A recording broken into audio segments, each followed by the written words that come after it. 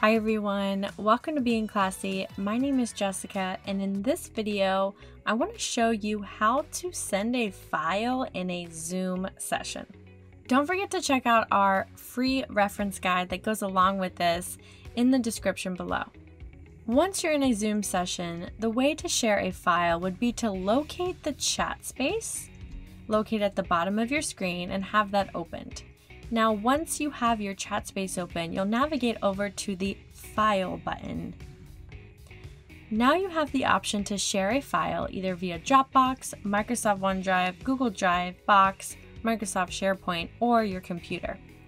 If you're going to use a cloud or web based storage like Google Drive, you're going to need to enable Zoom access to your Google Drive.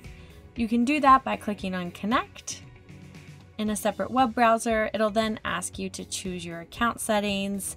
You'll enable and click through to connect that. The other way you can share a file is simply from your computer. You can go ahead and find a file on your computer and send it through the chat. Now you'll notice this file went to everyone in the Zoom session. You can also share files if the host has enabled it to particular people in a session.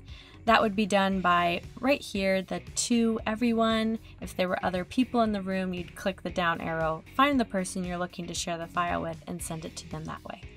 Anyways, I hope that this helped on how to share a file in a Zoom session. Again, don't forget to check out the free quick reference guide, which is essentially these directions in document format in the link in the description below.